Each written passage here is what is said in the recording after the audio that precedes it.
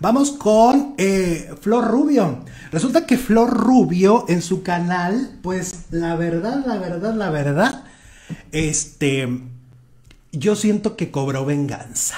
Dicen por ahí que la venganza, ¿cómo dice la canción? La venganza, no, no sé.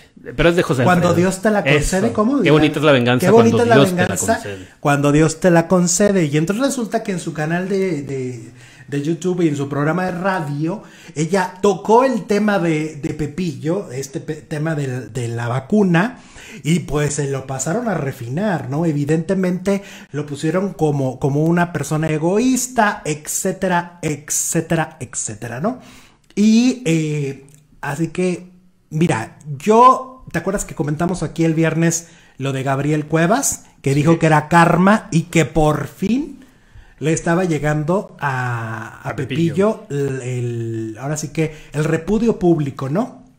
Porque recordemos, porque hay una, hay una razón también, o sea, no es nada más que Gabriel decide hablar de esto, o sea, a Gabriel le cerraron las puertas de varios programas de televisión porque, según dice, Pepillo levantó el teléfono y les llegó a decir, oigan, no lo contraten porque es esto, esto y esto y esto, ¿no? Es decir, después de ese video en el que Pepillo culpaba a Gabriel, Pepillo hizo cosas aparentemente, según Gabriel, para frenarle su carrera, lo cual aquí en China eso está mal, ¿no? O sea, no, no estamos hablando de algo positivo. Pepillo igual tiene también su versión, como en todas las historias hay dos, dos caras de la, de la moneda, pero en este caso yo sí noté que Flor de alguna manera sí disfrutaba un poco hablar de este tema y demostrarnos a, a nosotros que, que Pepillo, pues para ella y para mucha gente, pues tiene cosas que criticarle, ¿no? Ahí está Rita Boschetti, super chat 20 euros. Muchas gracias. Hola, Rita. Rita. dice saludos y muchas bendiciones para todos. Los quiero mucho. Besos y abrazos para todos. Venga, Muchas gracias. gracias, Rita. Besitos hasta Besote. Italia. ¿Y qué les parece? ¿Cuántos me gusta tenemos?